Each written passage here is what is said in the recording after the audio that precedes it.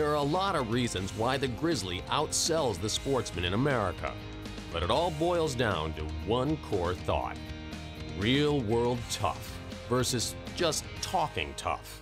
And Polaris loves talking tough, like their on demand system that they say comes with true all wheel drive. But when you run it in the real world against Grizzly's best in the industry on command system, you'll quickly see the difference between talking the talk and walking the walk. With the Grizzly, you get to choose two wheel drive or four wheel limited slip when you need even more traction. Same with the Polaris, except the rear wheels have to lose traction before the electromechanical four wheel drive system kicks in and engages the front wheels. Not the most confident position when you're in a tough situation. The Polaris's on-demand system is constantly shifting back and forth between drive modes as it sees fit. And out there in the real world, when the going gets really gnarly, the Grizzly gives you the additional choice of four-wheel differential lock. All four wheels pulling with maximum torque without the need for any wheels to slip first. You can't get that level of performance on any Polaris. Now, would you rather have a machine that needs to lose traction before it can increase it? That engages and disengages constantly without you ever knowing which one it's going to do? Or the freedom to select the perfect drive mode that you want and the confidence of knowing that you're getting the best possible traction for any situation? That's what we mean by real world tough.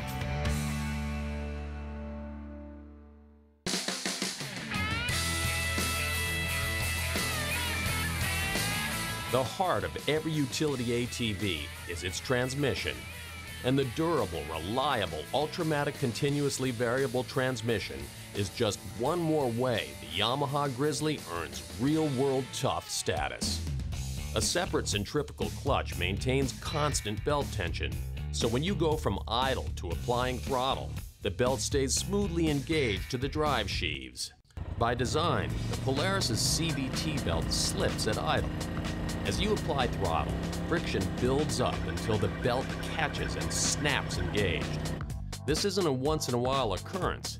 This happens every time you accelerate from idle.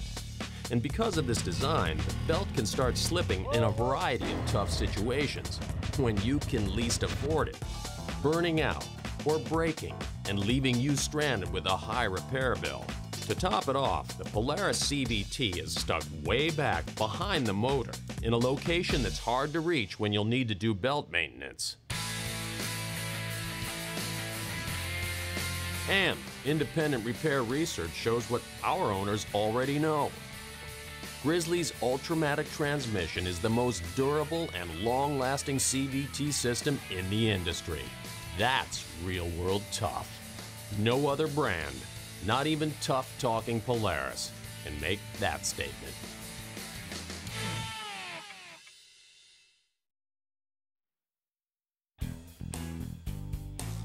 If you just want bragging rights to the biggest engine, then you could buy a Sportsman 850.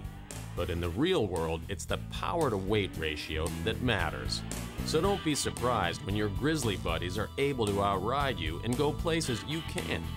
The Sportsman outweighs the Grizzly by as much as 150 pounds when you compare them equally with full tanks of gas. That's like carrying the weight of another person with you everywhere you go.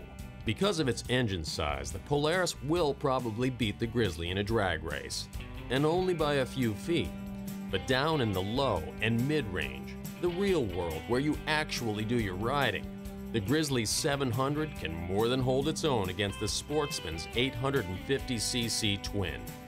And when you're muscling over rocks, ruts, and ledges, weight plays just as big a role. And that's where the Grizzly's 648 pound curb weight pays off in reduced effort and all day riding comfort. And oh, by the way, Grizzly's fuel efficient four stroke engine, lower weight, and larger fuel tank means you can ride up to 40% farther between fill-ups, a fact that was proven in Dirt Wheels magazine's Big Bore Shootout. You'd also better be prepared for a bigger price tag, because a Sportsman costs a whole bunch more than a Grizzly 700 Fi.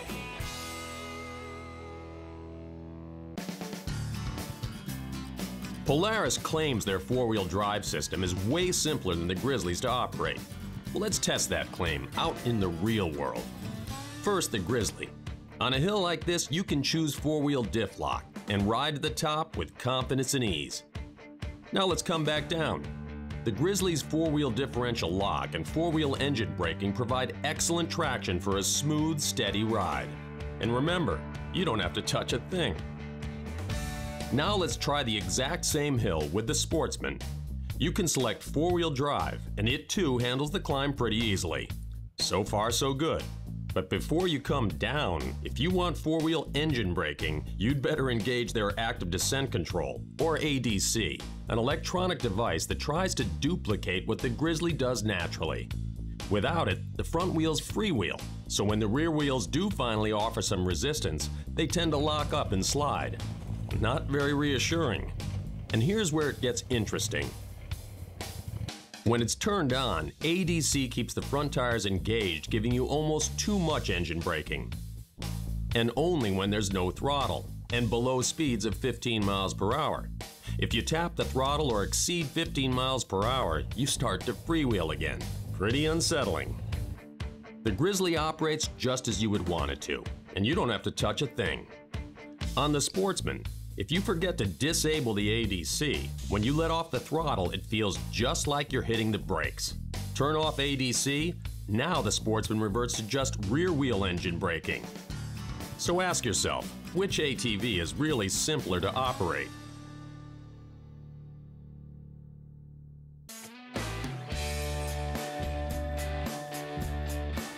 After Yamaha introduced its award-winning electric power steering system in 2006, Polaris needed to play catch-up and brought out their own EPS models.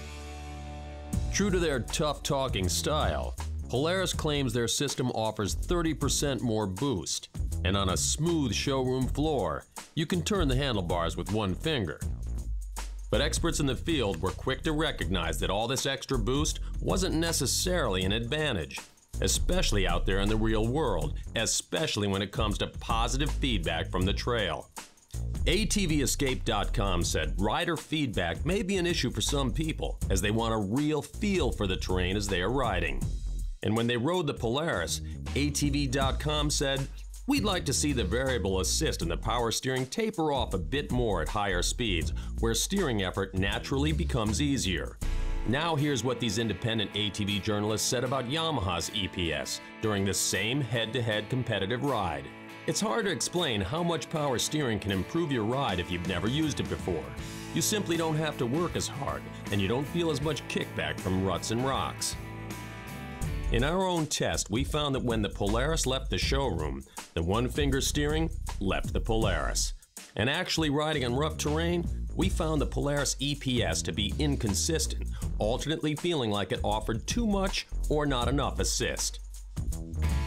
The Grizzly's EPS has just the right balance of positive trail feedback and ease of steering. And when it comes to maneuvering in tight situations, the Grizzly's tight turning radius makes it a snap. Not quite as much with the Polaris.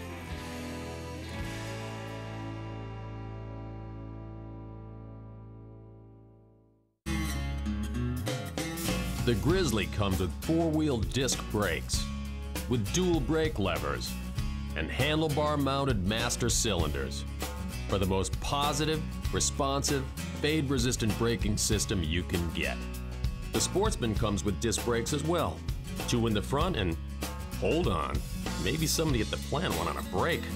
Or maybe they're just trying to save a few bucks. And instead of the Grizzly's two brake levers on the handlebars giving you the ability to engage the front or rear brakes independently for ultimate control, on the Sportsman, you only get one which operates all three brakes simultaneously.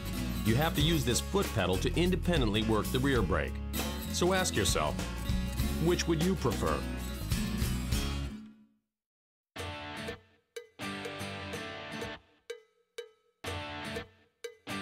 There are a lot of reasons why the Grizzly outsells the Sportsman in America. It stands up to just about anything you can throw at it, with build quality that's second to none like sealed marine-grade electrical connectors that are nearly impervious to water and debris. Just look at the quality difference on the Polaris. ample protection for lower A-arms and CV joint boots. Here's how Polaris protects these components. Brake lines that are well routed and close to the suspension. How'd you like to snag this on a branch? Grizzly's also designed for real-world serviceability and ease of maintenance. For example, to change the air filter, all you have to do is clean out the reusable foam filter and put it back in. On the Sportsman, a once and done paper element. If it gets wet, you might as well throw